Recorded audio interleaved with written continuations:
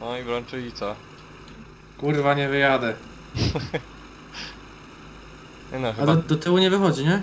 Nie, idzie powoli. Idzie? Powoli idzie, idzie, ale to powolutku. A do przodu już nie szarpniesz? Patrz, zobacz, wyjdzie. Mieli, jebany, mokro tu jest Zobacz. jak nie wiem. Zobacz, zobacz, zobacz. Widzicie? Właśnie o to chodziło w tym błacie. Błocie. Łapka w górę. Nie idzie, ty czekaj. Ej, zobaczcie jak to fajnie, realistycznie wygląda. I tu Brączek już kolejną próbę po- próbuje robić. Czekaj, on wylizie teraz do tyłu. Wyjdzie, wyjdzie. O, Patrz, patrz, patrz, poszedł. E, dobra, wyszedł. Przejeżdżasz Dobra, już? Brączek już Jest. nie ryzykuje. Poddał się. ty czekaj. O Boże. Ja pierdzielę, tam nie wyjedziesz już.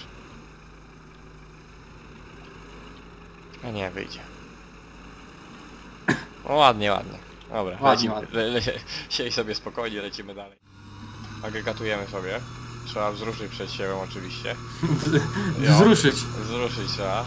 się i ziemię. Mamy nadzieję, że przejdziemy przez to błoto.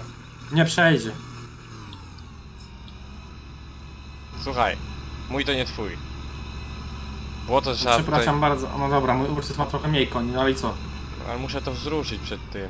Aha. Ja błoto wzrusz. Nie, że trzeba rozjeździć, tu... O, poszło ty. Trzeba to rozciągnąć, pizdu.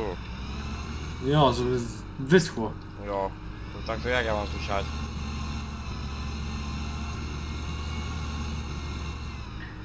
Dobra, ja to zaraz zrobię to kordę.